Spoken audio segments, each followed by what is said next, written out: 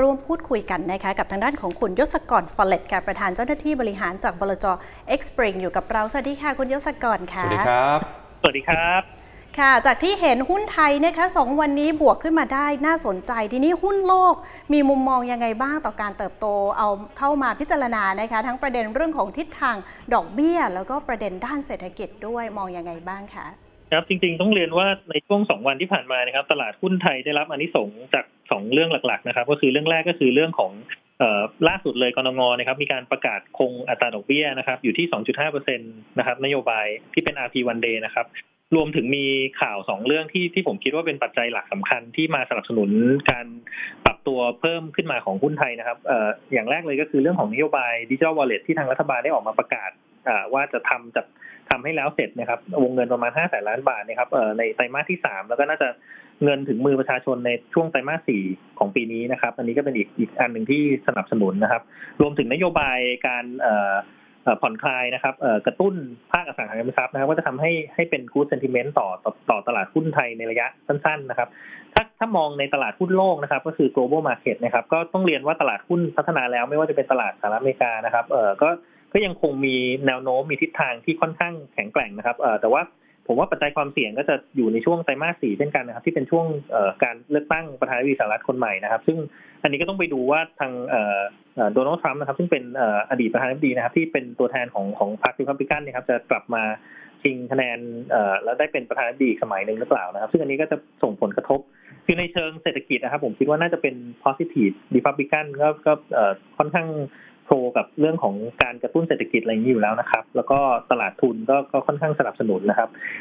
แต่ว่าสิ่งที่น่ากลัวก็คือเรื่องนโยบายระหว่างสหรัฐอเมริกากับจีนนะครับ ซึ่งซึ่งก็เป็นอีกขั้วหนึ่งของของประเทศที่ที่เป็นมหาอำนาจนะครับ ในฝั่งภาคตะวันออกนะครับในส่วนของตลาดอื่นในภูมิภาคครับ ที่ผมคิดว่ายังคงมีความน่าสนใจนะครับ ก็คือตลาดหุ้นเวียดนามนะครับ ซึ่งในช่วงที่ผ่านมาก็ปรับฐานปรับตัวขึ้นมาได้นะครับเงียบๆนะครับ ก็ เรียกว่า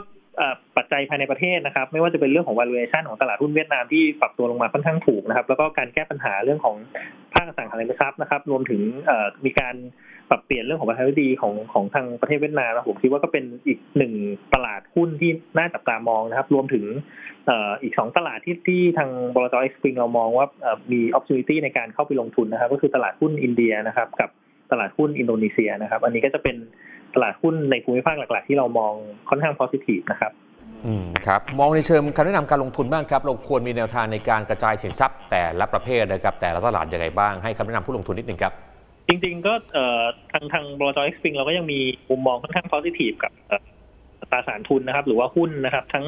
หุ้นที่เป็นตลาดพัฒนาแล้วก็คืออย่างเช่นหุ้นยุโรปด้วยแล้วก็จะมีการเซ ว่าเอ่อประมาณสักห้าสิบเปอร์เซ็นลงทุนในตราสารทุนนะก็คงน้ำหนักการลงทุนประมาณสักสามสิบเปอร์เซ็นในตลาดหุ้นพัฒนาแล้วอีกยี่สิบเปอร์เซ็นนะครับก็คือมากระจายอยู่ในตลาดหุ้นที่กำลังพัฒนาก็คือไม่ว่าจะเป็นตลาดหุ้นไทยตลาดหุ้นเวียดนาม แล้วก็อินเดียกับตัวอินโดนีเซียนะครับ ส่วนที่เหลืออีกประมาณ 30%นะครับ เรายังคง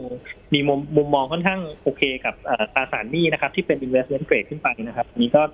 ก็สามารถ allocate ได้ ในตราสารหนี้ค่ะ investment แล้วก็อีก 20%ก็คงอยู่ในสัดส่วนของเอ่อตราสารที่เป็นทางเลือก alternative investment ไม่ว่าจะเป็นพวก private equity private debt private credit นะครับเอ่อสัญญาณจะไม่ค่อยชัดนะคะเอ่อทวนนิดเดียว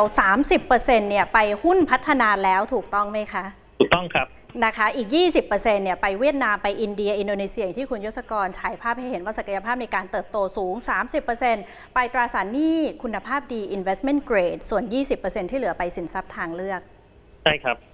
ได้ค่ะ วันนี้ต้องขอขอบพระคุณมาก ๆ เลยนะครัคะบคุณยศกรคะ ขอบคุณครับ ขอบคุณครับ สวัสดีครับ สวัสดีค่ะ นั่นคือมุมมองการลงทุนที่มีมาฝากการจากบลจ X Spring ด้วยนะคะประเมินภาพรวม ตลาดหุ้นโลกก็น่าสนใจ โดยเฉพาะอย่างยิ่งตลาดพัฒนาแล้ว develop market ฝั่งของสหรัฐเองก็ต้องติดตามราคาการดำเนินนโยบายต่างๆ ทั้งเรื่องของดอกเบี้ย การเลือกตั้งในช่วงปลายปีด้วย แล้วก็ความสัมพันธ์ทางการค้าระหว่างสหรัฐกับจีนด้วยนะคะ ส่วนในภูมิภาคค่ะตลาดหุ้นที่เลือกสรรมาฝากกันแล้วนะคะว่าศักยภาพในการเติบโตสูงทั้งเวียดนาม อินเดีย อินโดนีนีเซียด้วย หุ้นไทยก็ปลดล็อกไปอย่างที่นำเรียนนะคะ ทั้งเรื่องของกนง.คงดอกเบี้ยนโยบายดิจิทัลวอลเล็ตด้วยนโยบายผ่อนคลาย แล้วก็กระตุ้นอสังหาริมทรัพย์แนะนำจัดพอร์ตการลงทุนที่มีมาฝากกันด้วยค่ะ